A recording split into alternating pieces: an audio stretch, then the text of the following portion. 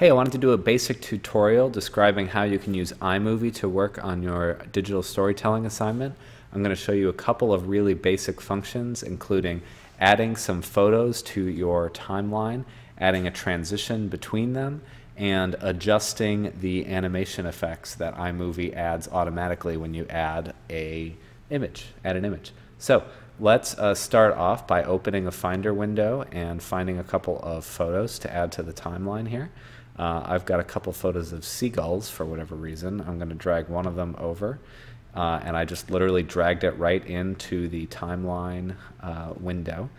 And uh, so now we can see that if I put the playhead at the beginning and press play, we get a sort of gentle zoom out from that image. If I decide I don't want that animation, I can go up here to the cropping menu. I can select it and you can see right here, this is the crop level for when you begin the shot. And then you can see it's zooming out gradually and it ends the shot like this. That was an arbitrary default that, that iMovie um, put on automatically. If I don't want that kind of animation, I can either choose to fit the photograph within the um, video window or I can do a crop to fill, which means it will actually crop the image a little bit uh, so that it will fill up the entire screen. So if I, if I choose to do that, and now I leave this menu and press play, you can see we can get four boring seconds of just that photo. Okay, let's make it less boring by bringing in a second photo. Uh, how about these seagulls? I will drag these over.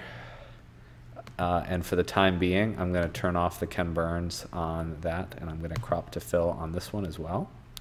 Uh, so I'll click out of this menu, and now we will get a slightly more interesting video of one photo and then a second photo. If I don't want quite such an abrupt transition between the two, I can add a transition. Uh, so if I go over to the content library down here and select transitions, It'll give me a whole bunch of choices. I don't recommend going too crazy with these. Some of them can get really distracting. Uh, the sort of classic that you'll probably recognize is what's called a cross dissolve. So let me just add a cross dissolve between these two. So I'm going to drag this effect down in between my two photos so you can see uh, it's, it's moving them over a little bit to add this cross dissolve. And um, now you can see as I drag my cursor over, that there's this sort of in-between period uh, where we see a little bit of both images. So now if I want to play that from earlier, I can press play, and you see one faded into the other.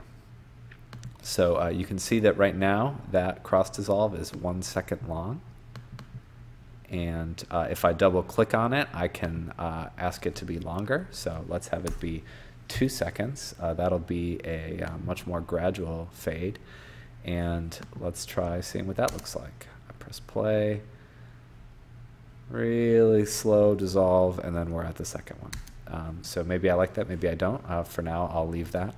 Uh, but let's say we do want to gradually zoom in on uh, this pair of seagulls here. Uh, so let me click back onto this photo and go back into that cropping menu. And let's click on Ken Burns. Again, you can see by default it zooms out uh, at the start and then comes in gradually. Let's do that, but let's also take it a little bit off center. So I'm going to click on end and I'm going to just drag it a little bit. So in addition to uh, the zoom, we're going to get a little bit of pan as well. So let me click out of that. And now what we should see, uh, if we go back to the beginning, is um, four seconds of, of boring single seagull, followed by our long two second cross dissolve. And that goes right into the Ken Burns, which is that gradual zoom toward the zoom and pan toward the right side of that photo. Obviously, those were arbitrary sorts of decisions. What you really want to do is choose these effects based on what you are trying to achieve in using motion in your images. You also want to make sure you think about how overwhelming this might be. Uh, the Center for Digital Storytelling recommends that you don't use that Ken Burns animation more than every other photograph. So if you just used it, maybe your next photo should be a still photo. Um, I think the same kinds of rules apply to cross dissolves. Uh, you can sometimes do them and sometimes not. Um, again, I, I, certainly wouldn't do some of these much more complicated transitions that they that they recommend. I personally don't really like the effect of a still image cross dissolving into a moving image. So if this were me here, I would probably choose one or the other. If I really like the Ken Burns, um, maybe in this case, I'll decide to get rid of the cross dissolve, which I can do by selecting and deleting it.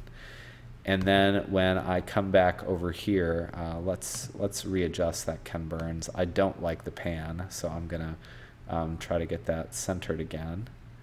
Um, but let's say I want to zoom in uh, further. So let me click on the end and um, let's make this box smaller so that it zooms in more.